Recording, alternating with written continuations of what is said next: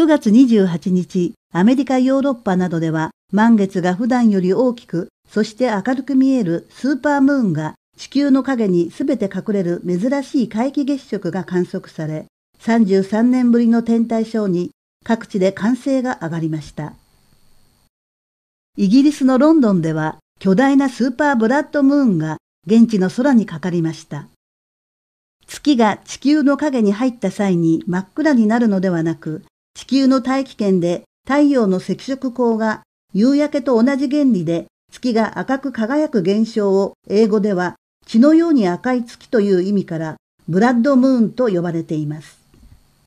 スーパームーンは月が地球に最も接近した時に新月または満月になった月でその赤黒く輝く皆既月食がアメリカやヨーロッパ、それにアフリカなどの各地で観測されました。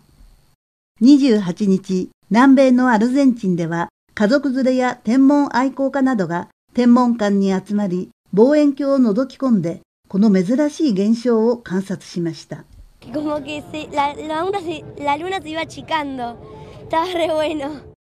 また、南米ベネズエラのバルガス州では強風を受けながらも少しでも高い場所から見ようと山の上に大勢の市民が集まりました。Bueno, aparentemente va a ser un eclipse exitoso de luna sangrienta.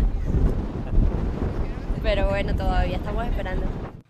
皆既月食とスーパームーンのコラボは前回が1982年、次回が2033年とめったにお目にかかれない天体ショーです。新東人テレビがお伝えしました。